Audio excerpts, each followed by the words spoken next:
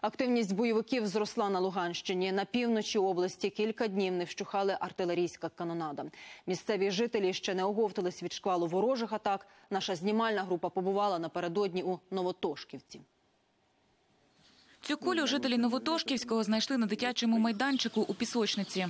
Вот эта пуля калибра 14,5 миллиметров. Ну, характерно, что выпущена со снайперского ствола, потому что 7 нарезов. Это бронебойно-зажигательная пуля. То есть вот здесь был термитный заряд.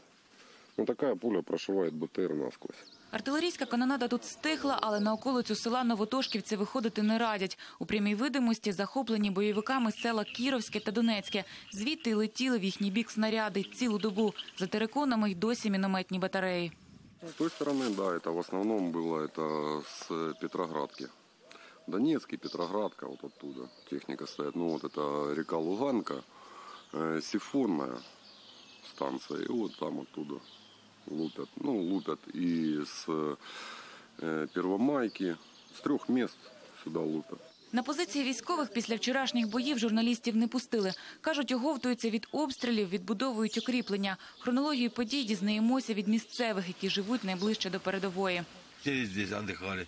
И оно все так и началось. Бах, бах, полетал, бесплотник видно полетал. И почали, три дня продолжалось.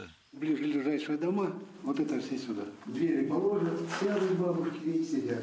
Через два роки новотошківцям знову довелося згадати дорогу в підвали. Місцева влада заново облаштовує бомбосховища, запасається харчами.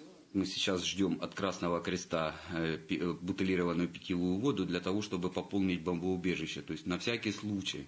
Через обстріли закрили дитячий садок і літній табір. Ще напередодні шкільний двір був усіяний осколками. Осколки сыпались по школе, по крышам. э, То есть, ну, как бы было очень опасно находиться на, на территории поселка. Вот. На данный момент э, пока все тихо.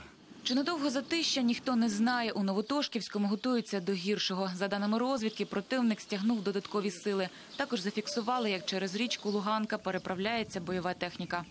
Анастасія Старовой, Тарина Баглай, Антон Чиженко. Новини телеканал Інтер з Луганської області.